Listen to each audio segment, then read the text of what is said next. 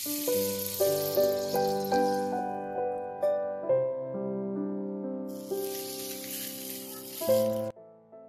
guys! Do you love bread as much as I do? There's always bread left over in my home, and though I hate throwing food away, so I've been experimenting new recipes from here and there using bread. So today you will get to see six bread recipes which are not just sandwiches or bread pakoras but much more than that. And without wasting any time, let's get straight into my recipes. Bruschetta is a quick and easy appetizer. A mixture of fresh tomatoes, basil, cheese, vinegar, and spice on top of grilled slice of bread. Bruschetta is to be served cold, while the bread that you're putting it on should be served toasty warm. This dish can be great starter for a soup or a heartier option. Now to make this, first take tomatoes and finely chop them. Drain any excess juice and transfer tomatoes to a medium bowl. Stack basil leaf and roll them into a tube. Now using a sharp knife, thinly slice the basil into ribbons and transfer to the bowl along with the tomatoes.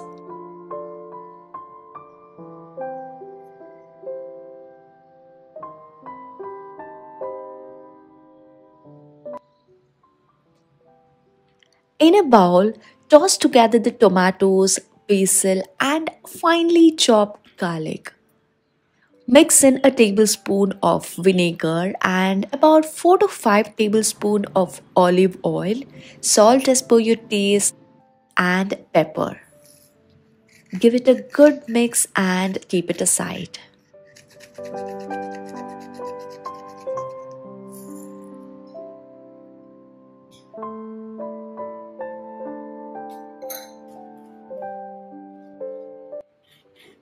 Then slice the bread diagonally and grill it. Once browned, turn and repeat.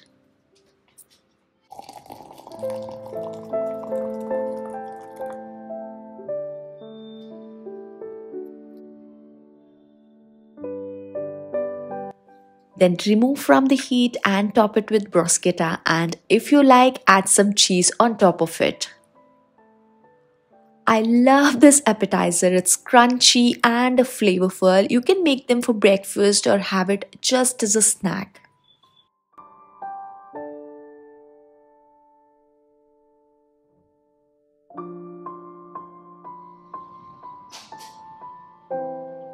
The best breakfast treat is an easy French toast.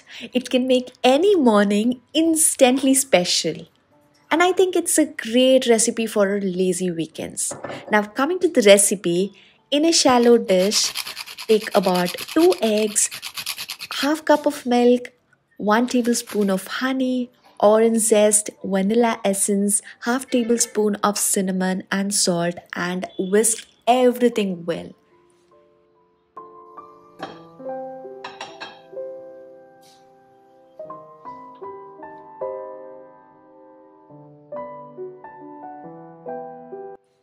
Then melt a tablespoon of butter onto a pan. Then add the slice of bread to the dish and soak in the egg mixture as possible for about half a minute and turn the bread side and soak the other side too.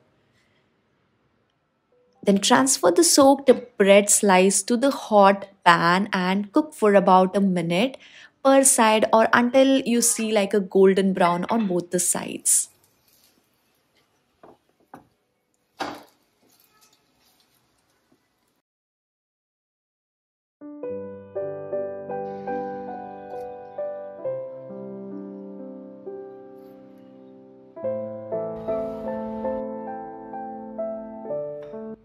Then serve French toast with powdered sugar, maple syrup, and fresh fruits of your choice. The honey and orange zest gives it wonderful flavor and it's like a perfect for a nice brunch.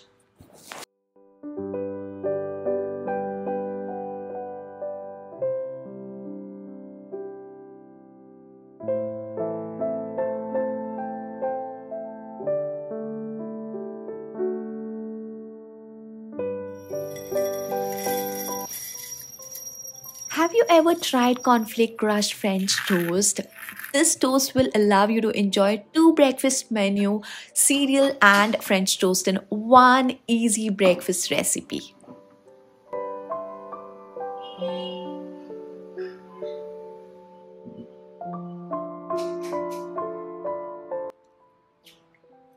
To make this, take cornflakes in a plate, crush them with your hand and set aside. Then crack open egg in a bowl, add salt as per taste and about 1 4 to half tablespoon of pepper. Whip it really well. Then dip bread slice into that and coat it with cornflakes on both the sides.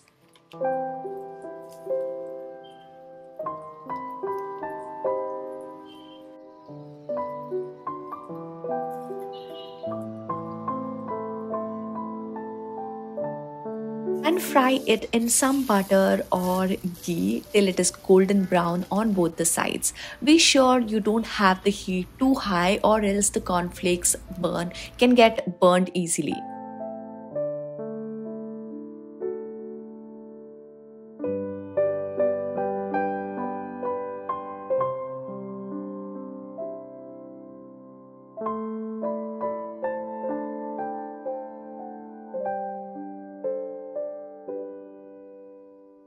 So once we were invited to a German colleague's house for dinner, and there she served this warm, creamy pumpkin soup with bread, and it tasted heavenly. And I kept trying to make something close to that. And now I have this recipe for you guys, which you guys are going to love it.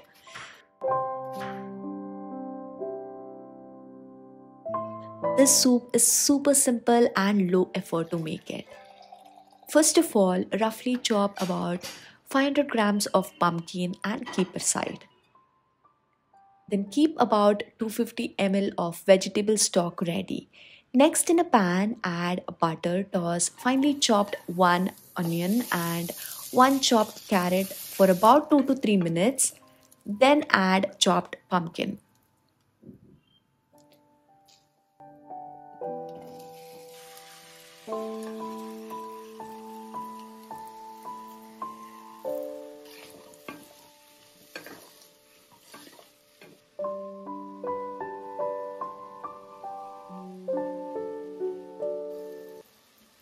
While that's getting cooked, add salt as per your taste and 1 tablespoon of cumin powder, chopped ginger, bay leaf, pepper powder, nutmeg powder, and 2 cups of vegetable broth.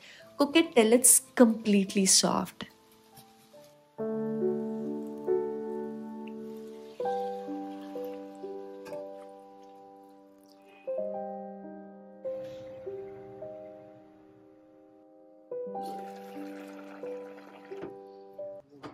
Then using a smasher, smash it and blend it into a smooth paste after it cools down.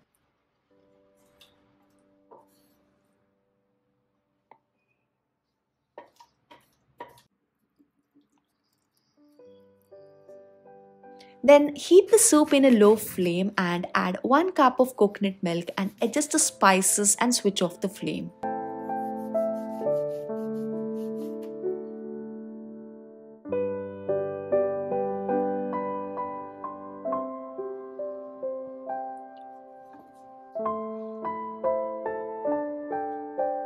Now serve in a bowl, add some sunflower seeds and roasted bread.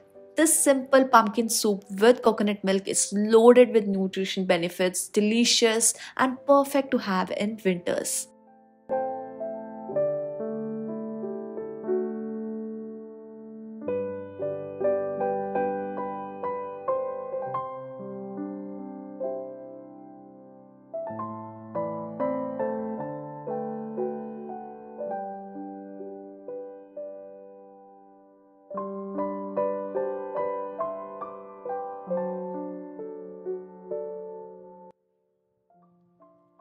Have been loving soup this winter along with some bread. So, the next recipe I'm going to share with you guys is broccoli onion bread soup. So, to make this, heat butter over medium heat, Saute one finely chopped onion and garlic until tender for about 6 to 8 minutes.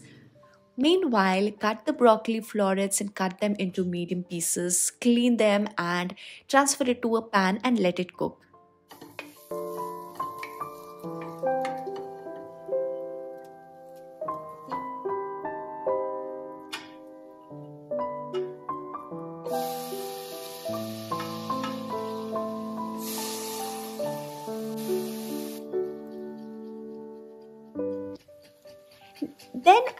1 4 tablespoon of nutmeg powder, pepper powder, bay leaves and chicken stock and let it cook for 4 to 5 minutes.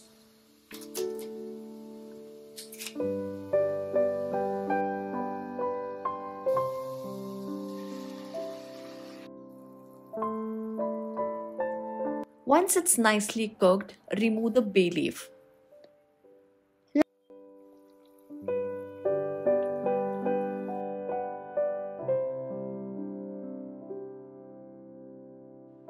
Lastly, add half cup of cheese and mix everything well and switch off the flame.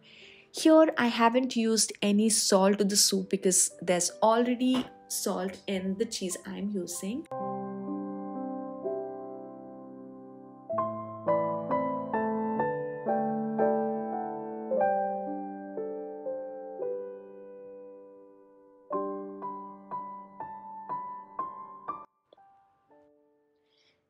The with chopped bread pieces.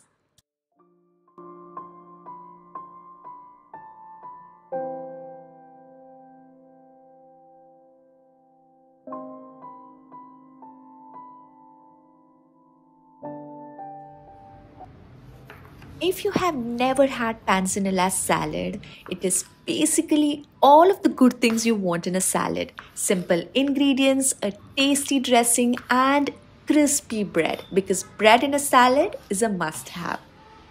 First, chop tomatoes and onions, then transfer it to a large colander over the same mixing bowl. Place the tomatoes in the colander and sprinkle some salt. Toss briefly with your hand and set aside for a few minutes to allow the tomatoes to release their juices into the mixing bowl.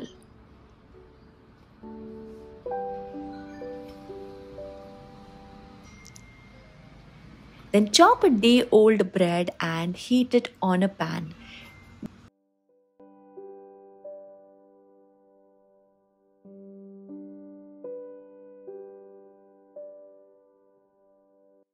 Drizzle some olive oil and a pinch of salt. You, need a nice crusty bread to soak up all the tomato juices and dressing. So when you're tossing your bread, be sure to get your bread super dry.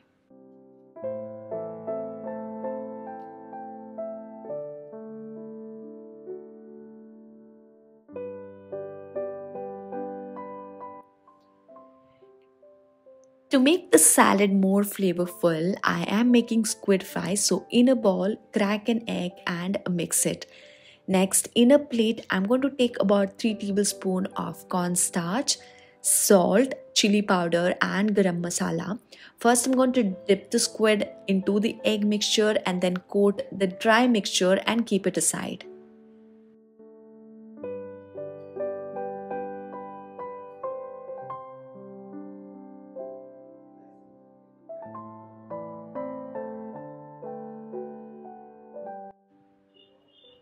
Then i'm going to deep fry for about 2 minutes not more than that because if i fry it more than 2 minutes it is going to be a little more chewy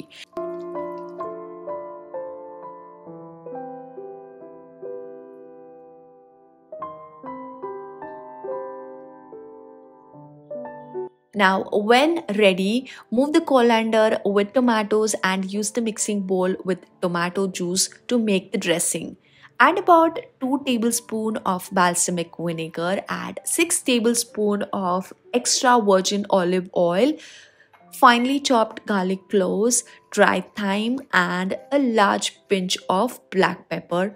Then whisk everything and combine the chopped tomatoes, squid fry and bread. Give the salad a gentle toss and transfer to a serving platter.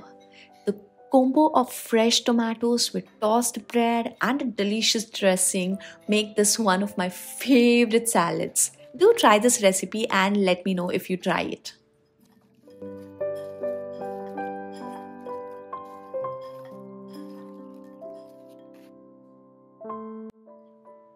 Hope you guys saw some interesting bread recipes. If you try them, don't forget to let me know how it turned out. I will see you guys very, very soon with a better content. Till then, take care, stay safe, and get vaccinated.